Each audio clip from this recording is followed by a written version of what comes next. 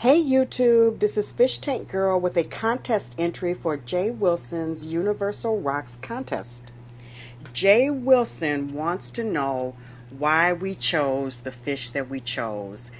And I have three words to describe why I chose my fish. I have primarily haps and peacocks in my tank. And the reason that I chose haps and peacocks is because of their fins and their anal spots. Yep, that's what I said. Their fins and their anal spots.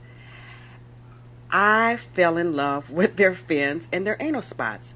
I used to have, when I first started out, I had a, a tank that had primarily Mbuna in it. And one day, my brother, once again, I give all credit to my brother. My brother sent me a link for a YouTube video for someone that had a peacock and hap tank. And I looked at that video and I absolutely fell in love with their uh, fins and their anal spots. I think they're just gorgeous.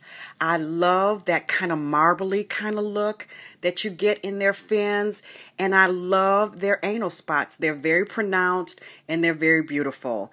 And so that is what I fell in love with anal spots and fins.